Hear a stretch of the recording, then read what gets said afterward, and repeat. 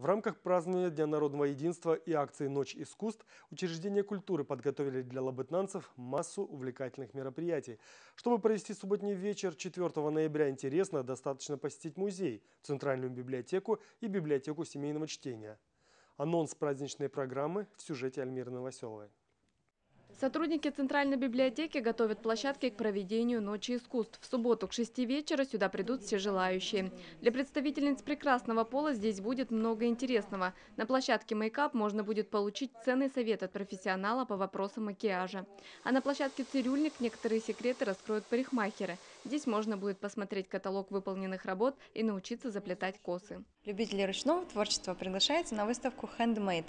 А для тех, кто любит более активную деятельность, ждем на ритм батл, где стихи золотого и серебряного века преобразуются в музыку в стиле рэп.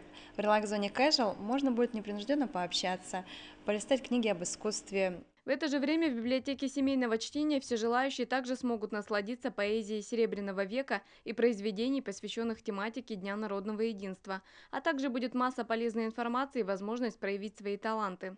На площадке поэтическая можно будет э, попробовать себя в роли поэта. Мы знаем, что это великое мастерство. Почитать неоднократное количество стихотворений, можно даже в стиле рэп. А, мы предложим нашим уважаемым гостям а, площадку вокальная, где можно будет исполнить песни под караоке.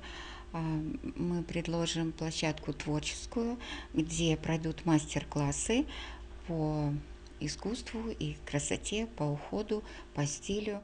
В музее также готовятся к встрече гостей. В половину седьмого здесь состоится вечер-встреча под названием «1917. Код революции». Посетители смогут окунуться в атмосферу пред- и постреволюционной России. Для посетителей уже подготовлена выставка, которая тоже посвящена революции.